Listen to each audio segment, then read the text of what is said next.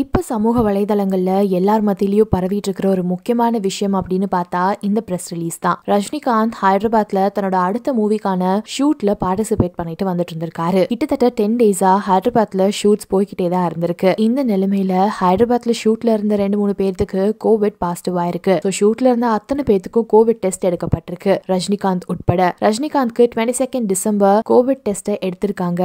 அதுல அவருக்கு கோவிட் இல்ல அதாவது கோவிட் நைன்டீன் நெகட்டிவ் அப்படின்னு தான் வந்திருக்கு. இருந்தாலும் அவரை தனியா ஐசோலேட் பண்ணி மானிட்டர்லயே வச்சிருந்திருக்காங்க. பட் இன்னைக்கு அவருக்கு உடம்பு சரியில்லாம ஆயிருக்கு. அதாவது ஹை பிளட் ப்ரெஷர் காரணமா அவரை இப்போ ஹைதராபாத்ல இருக்கிற அப்போலோ ஹாஸ்பிட்டல்ல அட்மிட் பண்ணிருக்காங்க. ரஜினிகாந்த் சட்டப்பேரவை தேர்தலில் இந்த தடவை தான் பார்ட்டிசிபேட் பண்றதா இருந்தது. இந்த நிலைமையில அவருக்கு உடல்நிலை சரியில்லாம போனது பெரிய அதிர்ச்சியா தான் இருக்கு. அவரோட பிளட் ப்ரெஷர் மட்டும்தான் இப்போ ஃபிளக்சுவேட் ஆயிட்டு இருக்கு அப்படின்னும் நிச்சயமா இது சரியானதுக்கு அப்புறம் அவரை டிஸ்சார்ஜ் பண்ணிடுவாங்க அப்படிங்கிற விஷயத்தையும் அப்போலோ ஹாஸ்பிட்டல் சைட்ல இருந்து ப்ரெஸ் ரிலீஸா வெளியிட்டிருக்காங்க. அண்ட் அவருக்கு கோவிட் சம்பந்தப்பட்ட எந்த ஒரு சிம்டம்ஸும் இல்லை அப்படிங்கிறதையும் மென்ஷன் பண்ணியிருக்காங்க ஸோ ரஜினிகாந்த் சீக்கிரமா குணமடைய கடவுளை பிரார்த்தனை செஞ்சுக்கலாம். ஆக்சுவலாக வில்லனாக பண்ணுறது ரொம்ப ஈஸி சார் பல்ல கடிச்சு டைலாக் பேசி கண்ணு என் கண்ணு ஏற்கனவே பெருசு.